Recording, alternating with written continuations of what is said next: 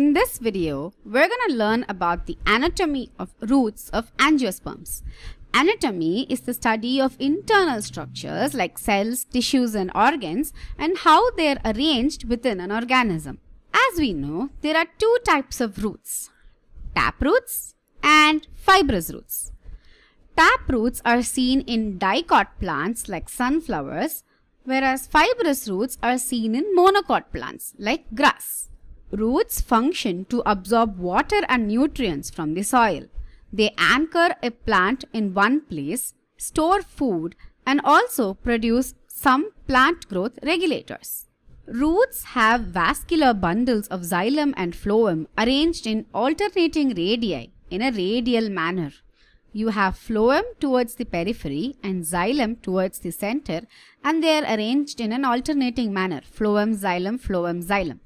This arrangement is called radial arrangement. To take a look at the internal structure or the anatomy of the root, we need to cut the root horizontally to get the transverse section. Here's how a transverse section of a dicot root looks like. The outermost layer is called epidermis or epiblema.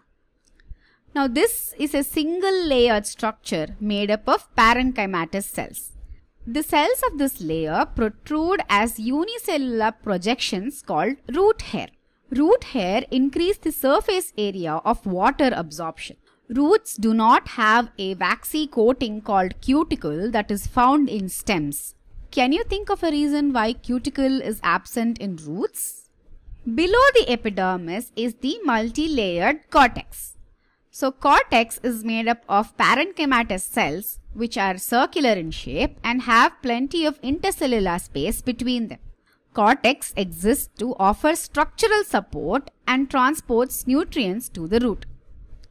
The innermost layer of the cortex is called endodermis. Endo meaning inside.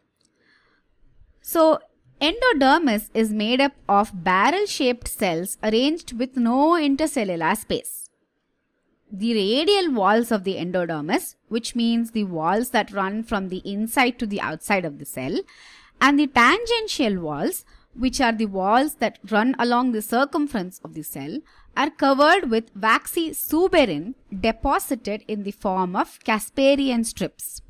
Now these strips are impermeable to water and they restrict the flow of water and ions within the cell.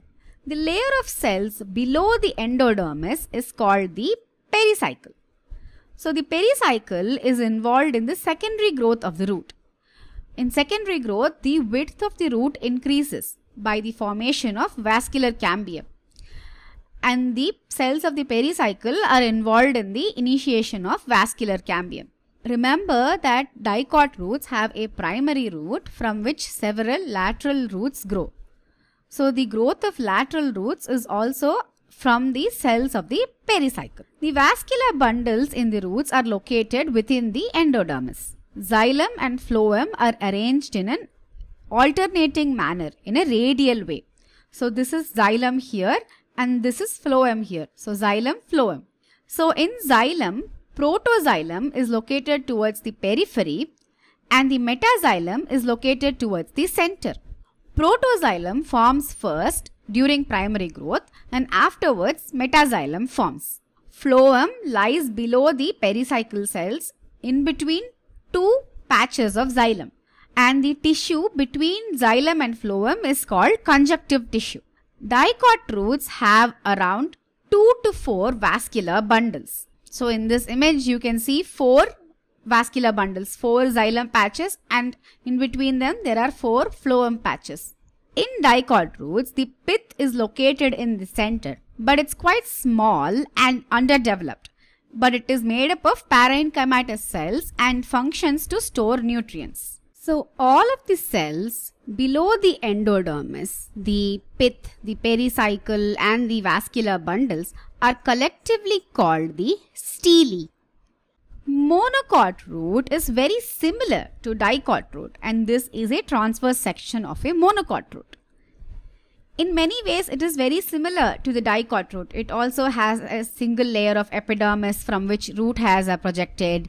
It has several layers of cortex cells which have intercellular spaces. The innermost layer is called the endodermis and below that is the pericycle.